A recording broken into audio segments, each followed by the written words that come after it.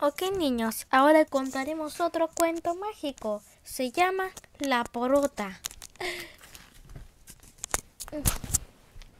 Oh, este es el alfajor que me dio colorito. Porque tiene cinta adhesiva. Por...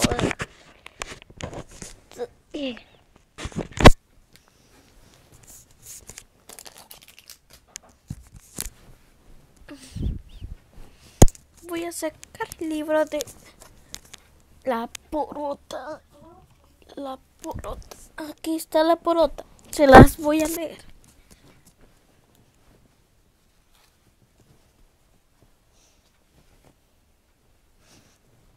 Bueno, para eso tenemos que ir a la sala de cuentos. Así que sígame, sígame. Primero, Sol. Ve a la sala de cuentos. Y conmigo. Después de que ya deje un estudiante ahí, voy a llamar a otro y a otro y a otro estudiante.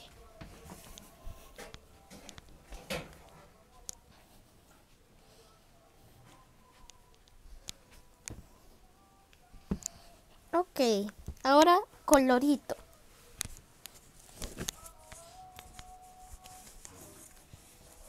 Mm, primero déjame llevar la colación de colorito. Y la peseta. Ah, el alfajor. Ah.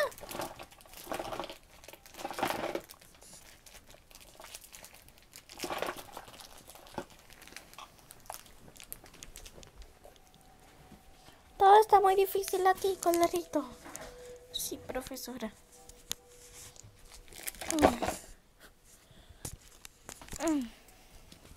Siéntate ahí, colorito, al lado de Sol.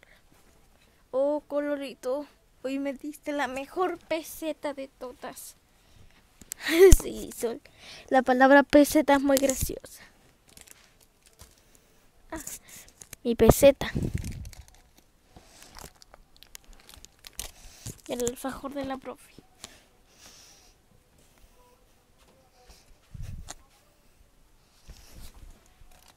Ok, niños, aquí voy a dejar mi alfajor. Por favor, no se lo coman.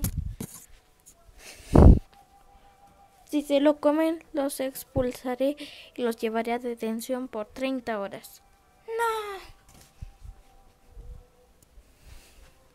Ahora, Goldie. Ah, este es el dulce de colorito. Y también llevemos a Goldie.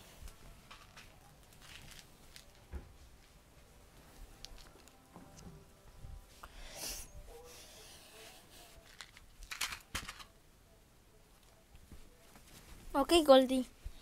Como eres tan suavecito y tan bonito, te sentarás al lado de Aurora. Uh, a Goldie le gusta Aurora. No es cierto, colorito. Uy. Así que Goldie, hazte un lado para allá. Y Sol, te sentarás al lado de colorito.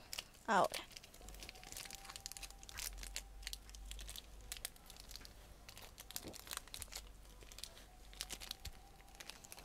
Cada uno con su dulce.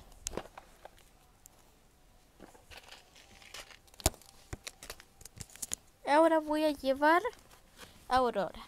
Es la última.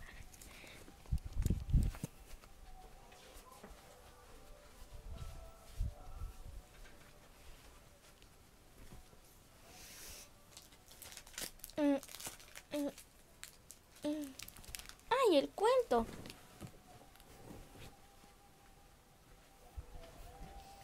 Estamos al revés. No pilla Aurora. Tú te sentarás ahí al lado de Goldie.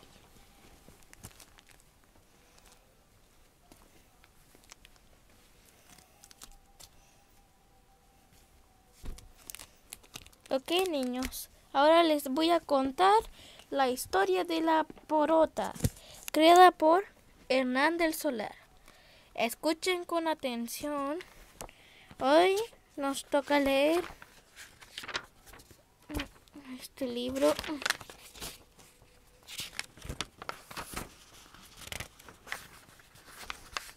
El cuarto de Porota.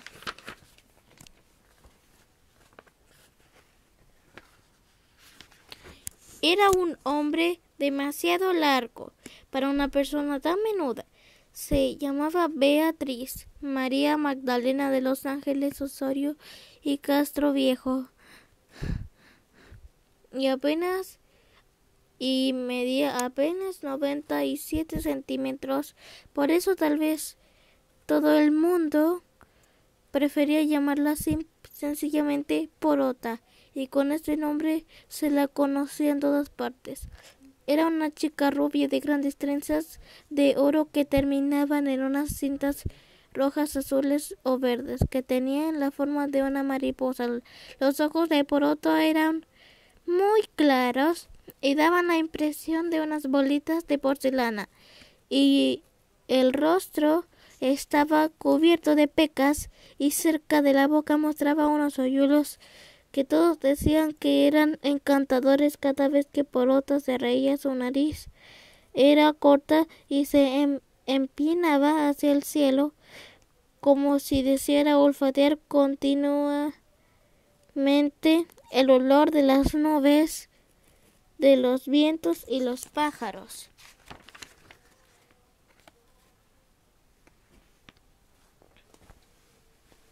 Ah, eso es todo por hoy porque Ay, me cansé mucho. Ok, niños. Adiós. Bueno, en verdad te pongo la cámara.